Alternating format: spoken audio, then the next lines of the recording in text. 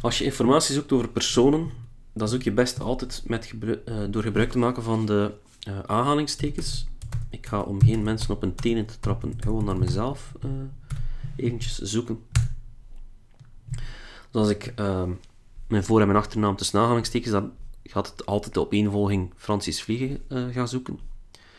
Ehm, vooral voor teksten is dat goed. Bij afbeeldingen ga je altijd merken dat er snel ruis op zit. Dus pagina's waar mijn naam ergens staat, gaat hij daar foto's van gaan linken. De eerste ben ik zelf nog, de tweede sta ik ook op. De derde is al iemand die ik ken, ehm, die zowel in mijn Facebook als in mijn LinkedIn zit.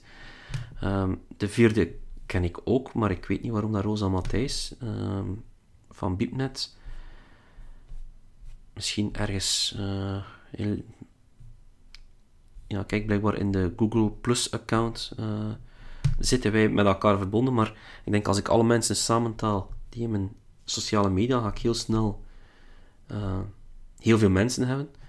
Dus ik, als ik, als ik er zelf naar kijk, dan zie ik altijd wel een verband. Maar iemand die mij niet kent, die gaat al snel denken van, wat is dat allemaal? Eh, die foto's die je hier ziet, dat zijn foto's die ik ooit genomen heb op een congres. Dus het, ehm, je ziet heel veel foto's, maar heel weinig foto's van mijzelf. Hè. Er is altijd wel een verband met mij, maar, eh, of toch vaak een verband, maar ehm, zelden ben ik het zelf.